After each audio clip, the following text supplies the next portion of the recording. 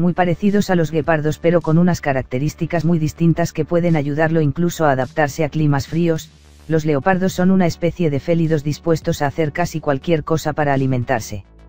Y hoy, en este episodio quiero que conozcas cómo es la vida de estos grandes mamíferos y cuáles son sus cualidades que los hacen tan especiales. Recuerda que si quieres conocer a los animales salvajes mejor que nadie en este mundo, te recomiendo que te suscribas a este tu canal. Así que sin más preámbulos, comencemos. El leopardo es un mamífero carnívoro de la familia de los félidos. Al igual que tres de los demás félidos del género Panthera, el león, el tigre y el jaguar, están caracterizados por una modificación en el hueso yoides que les permite rugir. Nuevas investigaciones afirman que la capacidad de rugir se debe a adaptaciones morfológicas, sobre todo en la laringe y en las cuerdas vocales. También se lo conoce como pantera parda, y cuando presenta un pelaje completamente oscuro, como pantera negra. El leopardo posee unas pupilas muy dilatables que le permiten ver tanto en la oscuridad como durante el día. Posee fuertes músculos en sus extremidades que actúan sobre sus uñas retráctiles y durísimas, pudiendo así trepar fácilmente por los árboles de tronco más vertical. Su larga cola equilibra perfectamente al carnívoro en los grandes saltos que da durante la caza o la persecución de una presa. Su pelaje se camufla perfectamente entre el pasto y los arbustos, así como en el claroscuro del follaje de los árboles donde acostumbra a pasar el día. Viven solitarios excepto en la época de celo no puede hablarse de territorio en un sentido estricto, sino de zona de campeo de un individuo. Los encuentros entre machos son a menudo cruentos, mientras que las madres, hijos y hermanos parecen tolerarse. Caza preferentemente de noche. La táctica cazadora se ajusta a dos modalidades, el acecho y el rececho. Las presas mayores de los leopardos, son escondidas en lo alto de los árboles, para evitar hurtos por parte de hienas y leones, y para resguardarlas de los buitres.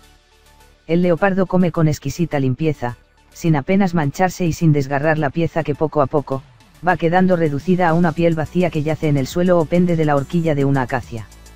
Si cerca del festín hay una charca o corre un arroyo, interrumpe a veces por unos momentos la comida y se acerca a beber, pero si el agua más próxima está a cierta distancia no lo hace hasta que sacia su hambre. El leopardo es uno de los grandes félidos más adaptables. Habita en todo tipo de hábitats, siempre que tenga un lugar donde esconderse y existan suficientes presas para sobrevivir, se encuentra presente en todo tipo de bosques y selvas, en las sabanas, en los sembrados y en lugares rocosos, e incluso en desiertos. En algunos hábitats, el leopardo desarrolla formas para evadir a otros depredadores mayores o más numerosos, como es el caso del león y las hienas en África, y el tigre en Asia. Realmente, el único factor que limita al leopardo son las personas. El oportunismo es una de las principales características del leopardo a la hora de cazar. Puede acechar a su presa durante horas, desde un árbol oculto entre la vegetación. No es común que estos felinos persigan a sus presas, sino que las sorprende. Es bastante versátil en su dieta. A diferencia de otros animales de su género, el leopardo caza todo tipo de animales vivos que no signifiquen un riesgo para él. Generalmente elige presas que no sean de gran tamaño. Monos, babuinos, zorros y chacales son sus víctimas preferidas. El leopardo ataca a su presa cuando ésta está sola. Evita atacar manadas o grupos, ya que lo considera un riesgo para su supervivencia. A su vez, es víctima de otros predadores de mayor tamaño que él, como leones y tigres. También los cocodrilos constituyen un riesgo cuando cazan en la ribera de los ríos. El leopardo es un cazador silencioso y oportunista que solo persigue y mata a otros animales en fin de sobrevivir.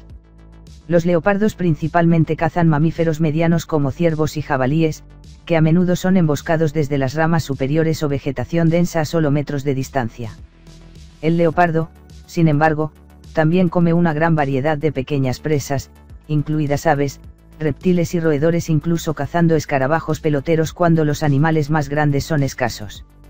Al comer una presa mucho más pequeña, y una variedad más amplia, los leopardos pueden evitar la competencia intensa por la comida de otros grandes carnívoros como los tigres y las hienas, con quienes comparten partes de su rango natural.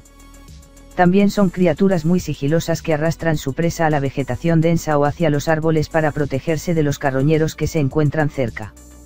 Los leopardos son increíblemente fuertes y son capaces de capturar presas mucho más pesadas que ellos, como los antílopes, que luego son arrastrados a la seguridad de las ramas para ser consumidos inmediatamente o almacenados en caché, guardados para más adelante.